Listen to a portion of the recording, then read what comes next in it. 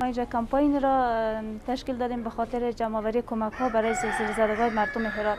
بازمانده کسایی که از این زلزله جان سالم به در بردن حال در شرایط سختی هستند هم روحی هم جسمی هم روانی. ما به خاطر کمک های ناچیزی که هست نقدی و غیر نقدی جمع آوری می‌کنیم تا برای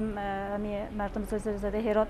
روان کنیم تا بلکه بلکه گوشه خیلی کم و کوچیکی از غم و از